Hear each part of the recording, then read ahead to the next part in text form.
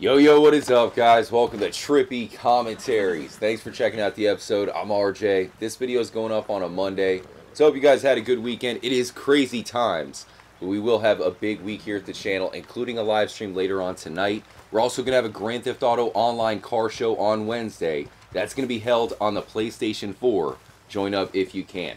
Now, in today's episode, we have to do a follow up on some mysterious lights that we found here in story mode. Now, keep in mind you can find two hidden UFOs. I'll show you them first, but then we found other lights, possible UFOs in the distance. I gotta show you this footage courtesy of Graham, a member of the Trippy fam, and then we'll actually show you where you can find the lights themselves. The White Hair Investigations and Ainurauco managed to find the exact lights that we saw in the distance. So thanks again for checking out the episode. Hit the like button. Once again, I hope all you guys are doing well and keeping good vibes. With that said, we'll look at the UFOs right here in Red Dead Redemption 2. Here's the location of the first UFO. This is Ham's Bethel. And this one is pretty obvious. You walk into the cabin, you see skeletons all around. And then the flying saucer comes from above and shines that ominous green light on you. Now, the thing that I want to point out is that is the same green light from the Grand Theft Auto 5 UFO. And it's interesting because there's three UFOs in GTA 5, but only two have been discovered in Red Dead Redemption 2 so far. That is the first. You can only see it once.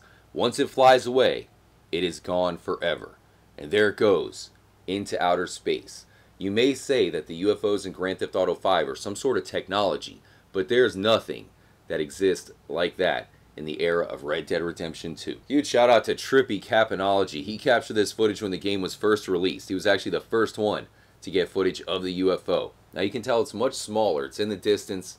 Doesn't have a light shining on you. Of course, you can find it at the top of the mountain. You can only see it once, just like the other UFO. Once you see it, it flies away. It never comes back. So I was expected to see a third UFO, you know, maybe with John Marston towards the end of the game.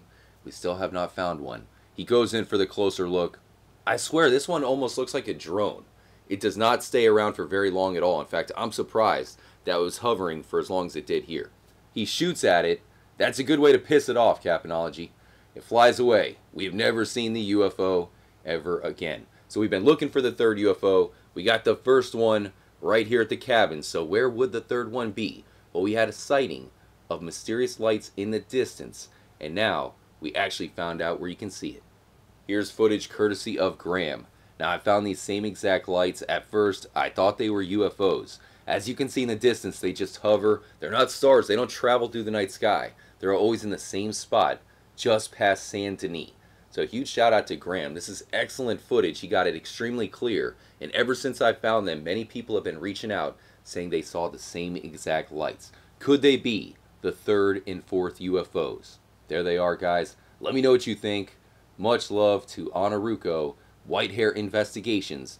She managed to solve exactly what the lights are. So as you can see, if you look from this location, and you look all the way past St. Denis across the Lannahechee River, you see two lights right above the tree line in the distance.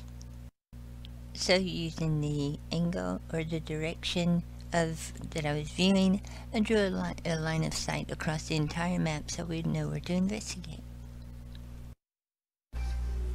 So with the help of J-Lash, who has helped the White Hair investigation on numerous occasions, we traveled all the way around the map and got to this specific location, which is almost in line with the line of sight.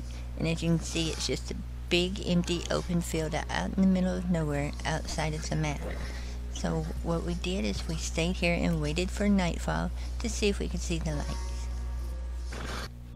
Now thanks to J-Lash, we have some really good pictures here of the lights uh, in the field before we actually get up to them. One thing to keep in mind is the closer you get to these lights, the dimmer they get. So from the starting position here in the field, you can see they're really, really bright. But in the next part of the video, you'll see they're kind of dim. They're a little bit hard to see close up. So as night fell, you could actually see the light show up.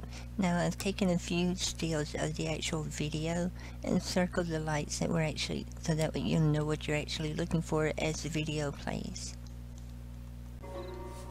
Here we are, this is me and my trusted horse Morai. We're going to be investigating the lights. Now they do hover above the ground.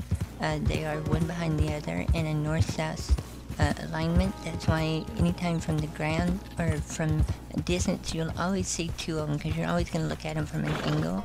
Uh, the closer you get, the dimmer they get. That's why uh, from the location up on the hill, you can see them that far away. It's because the further away you get, the brighter they get. And just what going around them here shows they are stationary in one specific location.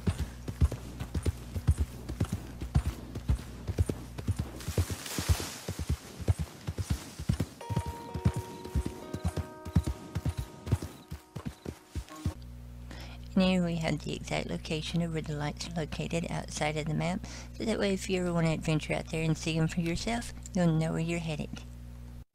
What are the lights in the distance? I think that is crazy. Let me know what you think in the comment section below. Is it a deleted structure, maybe UFOs, or maybe something else? Huge shout out again to Ainurauco. I'll put a link in the description to her channel. Do me a massive favor, make sure to show her some love. She has excellent investigative skills. Who knows what she'll solve for us in the future. Much love, y'all. I hope you enjoyed the episode. Stay tuned. Hit the like button. It really helps out the video. Live stream later on tonight. Hit the notification button. I'll see you guys there. But until then, as always, make sure to stay trippy, my friends.